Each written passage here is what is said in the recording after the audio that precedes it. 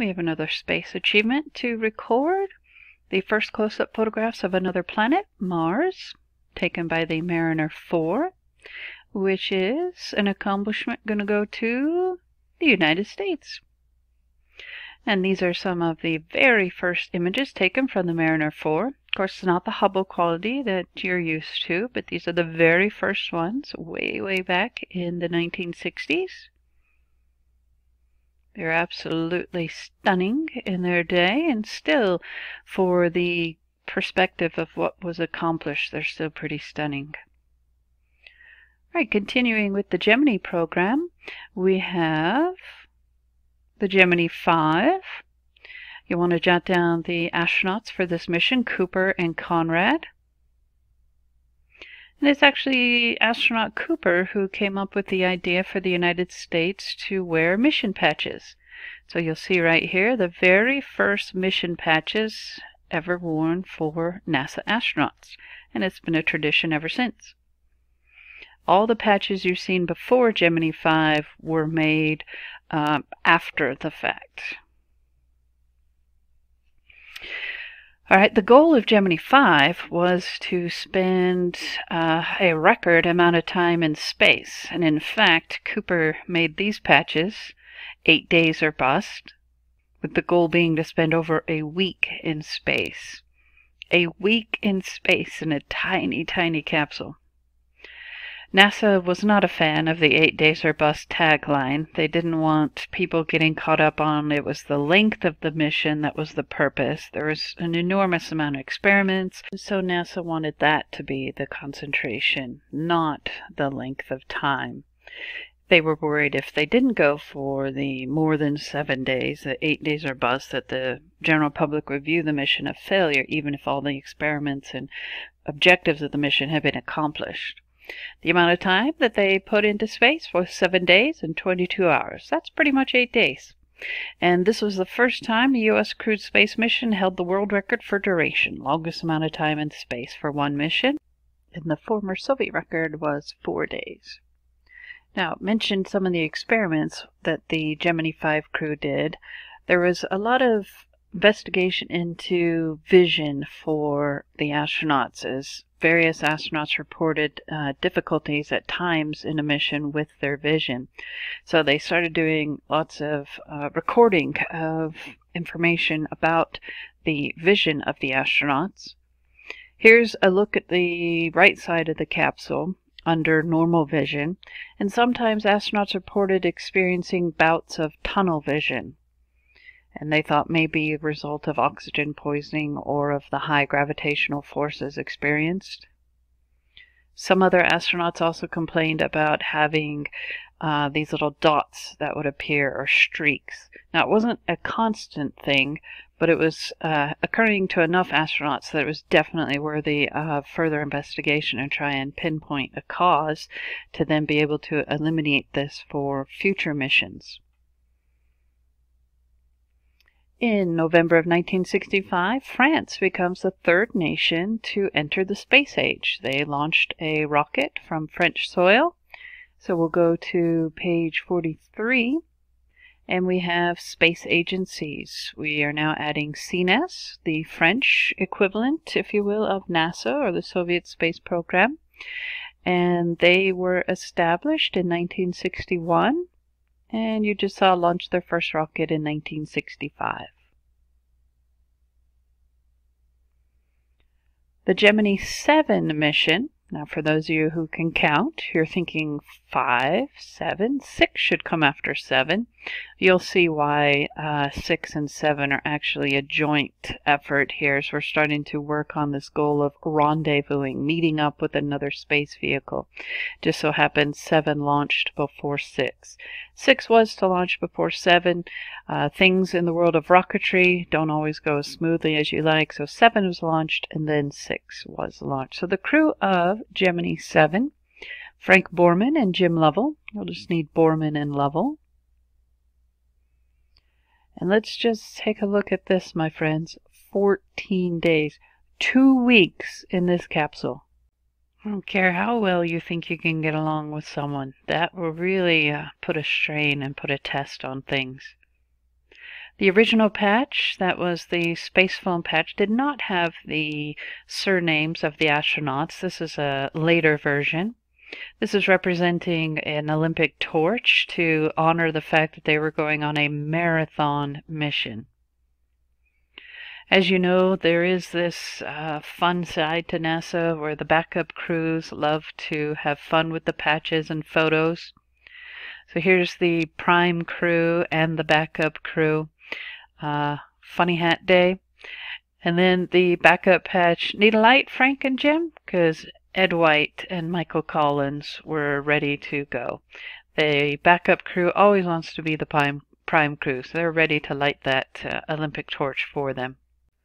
We'll point out the highlights of the Gemini 7 mission along with the Gemini 6 mission since they were together.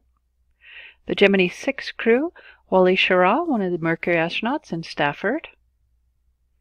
The A in their patch is signifying the target vehicle that they will rendezvous with.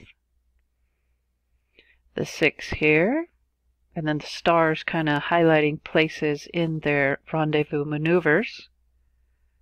Those of you who have had astronomy in the universe might recognize the celestial sphere right here. Checking in on the navigation skills.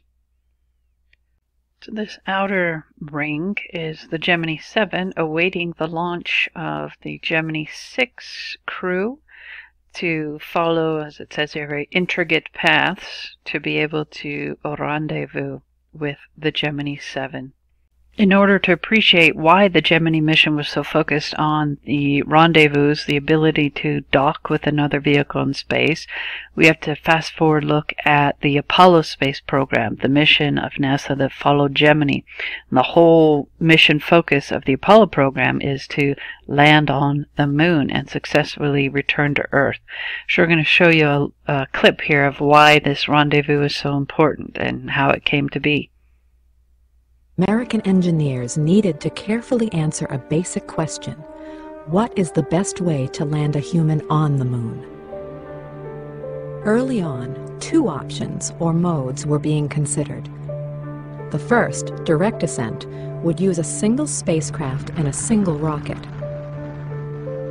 The second mode, Earth Orbit Rendezvous, would also use a single spacecraft, but called for two smaller rockets. One rocket would launch the spacecraft, while the second would send up fuel. The astronauts would meet up with the fuel tank, fill up their spacecraft, and head for the moon.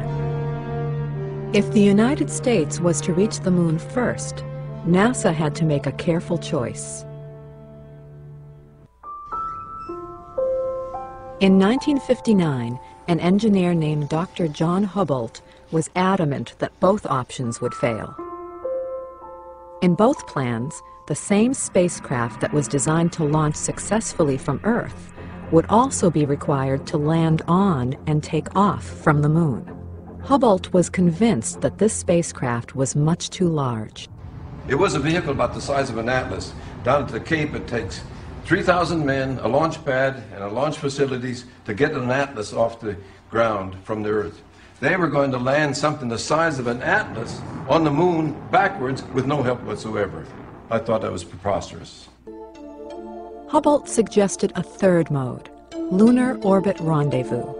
The key to this approach was to capitalize on the weaker gravity and lack of atmosphere on the moon. The main spacecraft would not go down to the moon at all. Instead, the astronauts would taxi down to the moon on a separate lander vehicle that would be lightly built and specialized for takeoff and landing on the moon. Sometimes we call it the bug, sometimes we call it the lunar schooner. But the idea was that we go there, we would land with the small lander, but keep the command module in orbit. After we explored, we'd take off again, make the rendezvous again with the uh, command module, dispense with the lander because it's done its job, and then we return to Earth in a very normal way. Houbolt was convinced his plan could get America to the moon safely and more efficiently. But many at NASA opposed the idea. Uh, I remember expressions like this is the most ridiculous thing I've ever heard of, the most unsafe thing. How could anybody go up there and land and, and rendezvous 250,000 miles away? After two years of frustration, John Houbolt risked his career and wrote directly to NASA Associate Administrator Robert Seamans. And it was a blistering letter. And I first thought, well, I wish that guy would get off my back. I mean, uh, he, I, maybe I should call his boss, uh, the director of the laboratory, and tell him that, you know, you're not really supposed to cut across, I don't know, six or seven layers of management that way. And, uh, but I thought, but he's, I think he may be right. In July 1962, NASA announced America would use the plan championed by John Houbolt to reach the moon. Right away, NASA began construction of a lunar lander. Overcoming gravity on Earth takes an enormous amount of fuel and an aerodynamic design. But the lander would never have to fly on Earth, so aerodynamics were not a problem. The main concern was weight. For every pound of weight that was brought down to the lunar surface and then back up, you had to add three pounds of rocket propellant. So it was a four to one growth factor on weight we went back very painstakingly through everything. For example, the skin, the aluminum alloy skin of the crew compartment was about 12 thousandths of an inch thick. That's equivalent to about three layers of Reynolds wrap that you would use in, in the kitchen. The lander's exterior can be extremely lightweight because the moon has no atmosphere.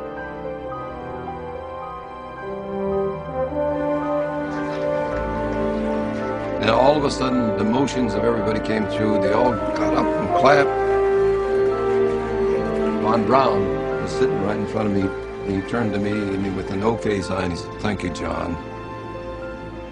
That's the biggest compliment I've had in my life. It would definitely be quite the compliment from Wernher von Braun. Now, uh, would you ride into a vehicle that was the thickness of three pieces of aluminum foil? Food for thought. So this is uh, Dr. John Houbolt. And that's the name you want to jot down by the very famous image. Houbolt. And these are some images from the Gemini 7, Gemini 6 mission. The very beginnings of Google Earth. This is uh, looking out from the Gemini 6 craft, showing you the Gemini 7 craft. And by the way, they're only about 9 feet apart in this photograph.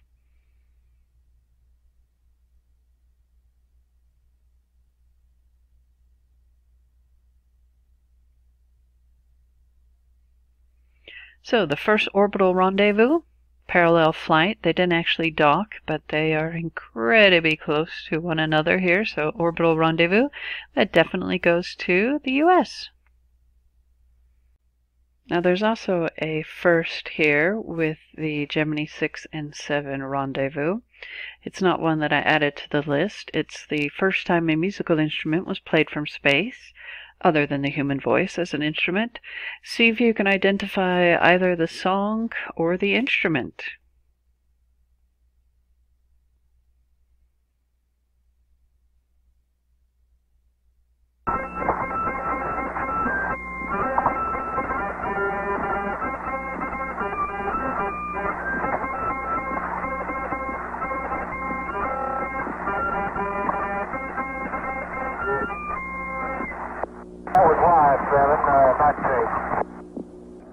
Too much, Six. It was Jingle Bells played on the world's smallest harmonica, the little lady. And on their advertising packaging for their harmonica, they have this great little picture played here. And speaking of music in the space program, now that we're spending days in space, there is this new tradition that uh, begins with wake up calls that uh, every morning the crew is woken up by a particular song. Sometimes it's chosen by mission control. Sometimes family members submit these to be played for their family member aboard a space mission. And the Space Rock NASA website is where you can look up where all of the wake up calls uh, for past missions have been. The most frequently played song over all the missions for Wake Up Call is Tom Petty and the Heartbreakers' Free Fallin'. And free falling back and safe to planet Earth are our Gemini crew members. The first soft landing on the moon was done by Luna 9. Here's the uh, look at the moon's surface back in 66. And airbags were used to cushion the landing of this vehicle. And this achievement went to the Soviet Union.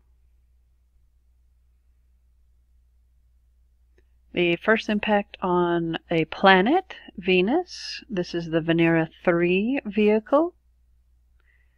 And this achievement also goes to the Soviet Union.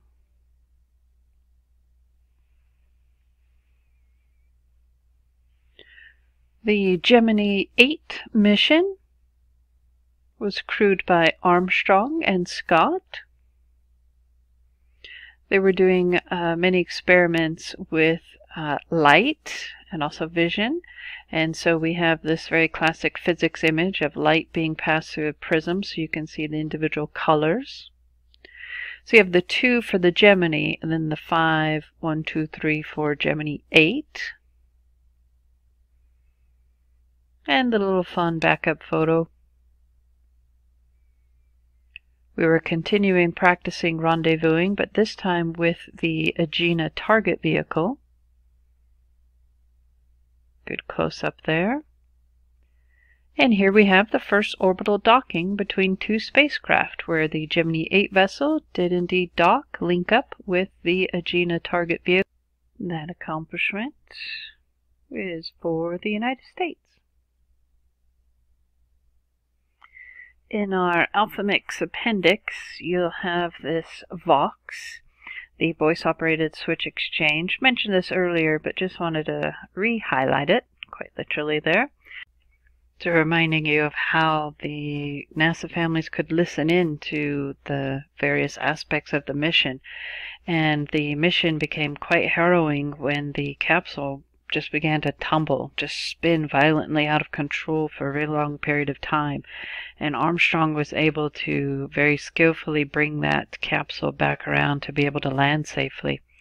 This image from the Life magazine shows Mrs. Armstrong in both sorrow and relief when Armstrong and Scott were able to safely return from their Gemini 8 mission that was cut short due to some technical problems. Wonderful sight to see the astronauts uh, safely recovered by the Navy SEALmen, sometimes affectionately referred to as the Frogmen. The first satellite to orbit another celestial body, uh, the being the Moon, was Luna 10, 3rd of April 1966, and in a similar way in which Sputnik by the Soviet Union was the first satellite to orbit our Earth, they also have the accolade of the first satellite to orbit another celestial body.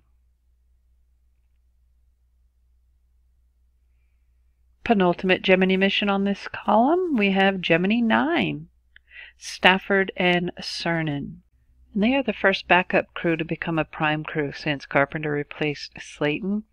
And it's a rather tragic reason as to why the backup crew became the prime crew. Rather tragically, on 28th of February 1966, the test pilots and Gemini astronauts of See and Bassett unfortunately were killed as their plane hit the side of a factory. So they both unfortunately perished. There is a memorial for them at the Kennedy Space Center in Florida. Headstones for where they're buried in Arlington National Cemetery. So Stafford and Cerner, Cernan become the prime crew and there's a bit of a hiccup as they attempt to dock with the ATD, which is the Augmented Target Docking Adapter. So, kind of a mock experience of docking with the lunar module. And so, mission cut a little bit short, safe splashdown, and good recovery of the vehicle. The capsule itself is on display in the Kennedy Space Center. Not a great photo because I took it. Ah, there you go, professional quality photo. Gemini 10. Astronaut Young and Collins. Astronaut Young was one of the first people, along with Grissom, to fly aboard the Titan Gemini capsule. The Gemini 10 patch gets a lot of attention over the years because of its simplicity, and it's one of the only patches that you could do a 180 with it and it would look very similar to its regular position two stars emphasizing the Gemini mission and Castor and Pollux, specifically what the stars are. Here's a great overlap, frame by frame, of the dropping of the gantry arm to launch the Gemini 10 mission. And that's the Agena test vehicle. They achieved the notoriety of the highest photos of Earth taken by humans at 185 miles up. There you can see successful docking with the target vehicle. Splashdown, great recovery. And then you have lots of debriefing after missions and sharing insights with science teams. And here is Young talking about uh, his tethered EVA. Although at a quick glance, it almost looks like John Young has uh, chalk laser eyes. And the penultimate Gemini program mission. This is a Gemini 11. Conrad and Gordon. And you do want to write the 850 miles because that is the highest orbital achievement, or altitude, I should say. The patch is navy in blue color and gold because they were two naval officers and the colors of the navy being blue and gold. Now, do recognize that the 11 here is showing this great altitude achievement, but it's largely exaggerated. If the Earth were about that size, then just kind of a little blip above here would be the 850 mile mark. But we definitely want to emphasize the great accomplishment of this mission. It's the highest orbit ever reached by a manned spacecraft. Here you can see the work of docking EVA. And Gordon's spacesuit is on display, or flight suit rather, is on display in the Seattle Air and Space Museum. And let's bring it on home with the final Gemini mission, Gemini 12. The two astronauts for this mission are Lovell and Aldrin. Their mission was originally slated to launch on 30th of October, where in many places that's considered Halloween, with the colors here emphasizing the Halloween colors of orange and black. And the crescent moon shape here to recognize that now we're moving on to the next phase of the NASA program of Apollo, of actually going to the moon. And then the 12, and the Gemini capsule pointing to the 12 as it's the final hour of the last mission for the Gemini program. And here we have the backup crew kind of egging on the prime crew that they want to go. Trick or Treat, Gordo and Gene, Eugene Cernan and Gordon Cooper. Here's Buzz Aldrin on an EVA. Now in your notes it says Edwin Aldrin, perhaps, if you wrote the first name. He did have his name legally changed to Buzz and he loves this photo and he declares it's the first ever space selfie back in 1966. So there's Aldrin wearing his first space selfie. Nearing their splashdown. Great shot of the Navy rescuer. And here's a look at all of the 12 launches of a Titan rocket. Remember the first two were unmanned. Food for the Gemini program got a little bit better than the Mercury, but still has a long way to go before people uh, crave space food. And as we wrap up the Gemini program, you can see the astronauts, some of the Gemini astronauts wrapped up in the parachutes. Again, participating in that survival training that's essential. And here's a great historical photo. You've got Ed White, Gus Grissom, And you definitely recognize this gentleman by the side of his face, his ear, and his cheek. That is Yuri Gagarin. So, as part of the worldwide blitz of Gagarin touring the world, and this is Sergei Korolev, the lead engineer, mission controller for the Gagarin and many other missions.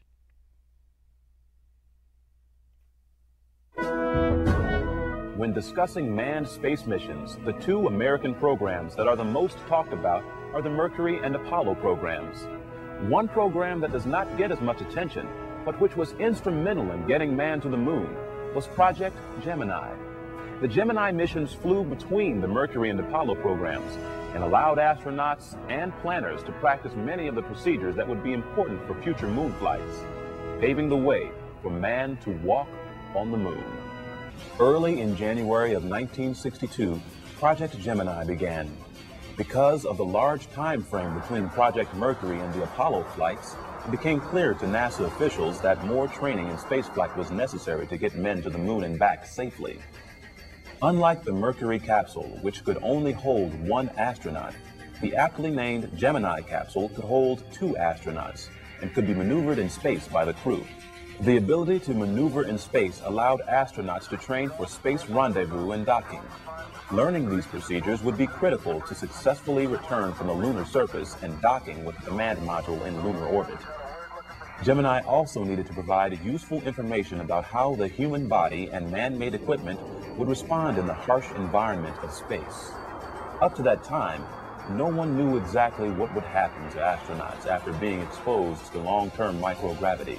The program would consist of 10 manned missions, all of which were to be completed in 12 months.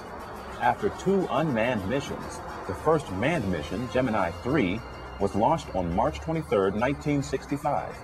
The flight was a complete success, proving how easily the astronauts could maneuver the craft. The flights that followed all saw success as well, including the first American spacewalk on Gemini 4, the first docking with two vehicles in space by Gemini 8, and a long duration mission which lasted 14 days by Gemini 7. With the final flight of Gemini 12, all of the major objectives were met, as well as many other mission objectives. With all the critical theories tested and proven, it was time for Apollo to go for the moon. The 10 manned Gemini flight spanned 603 days and accumulated over 1,940 man hours in space. Of the 20 astronauts who trained for the Gemini flights, 15 of them went on to subsequently fly on Apollo missions in the lunar program.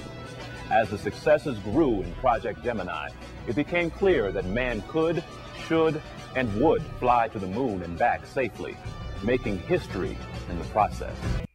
And so the Gemini mission, here's all of the individual missions on this 50th commemorative patch, 50 years.